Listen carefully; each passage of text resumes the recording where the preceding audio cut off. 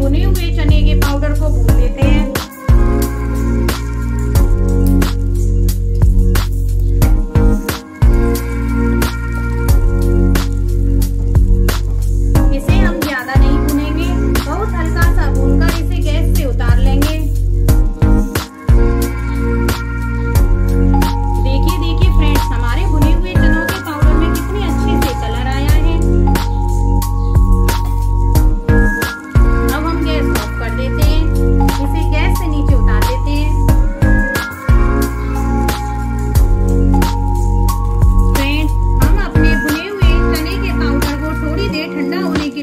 लेते हैं। फ्रेंड्स हमारे बुने चने का पाउडर ठंडा हो गया था। इसको हमने कढ़ाई से बाहर बाउल में निकाल लिया है।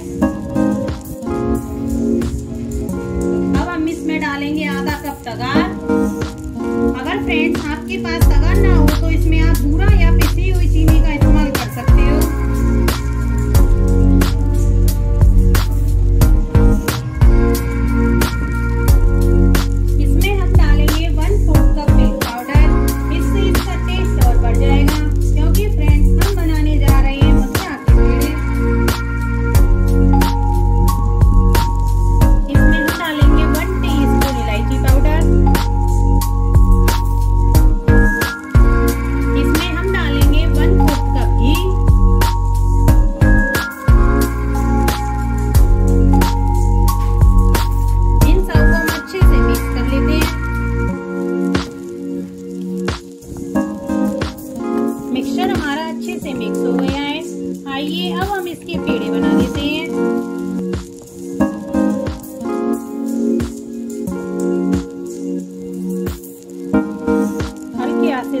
लाइक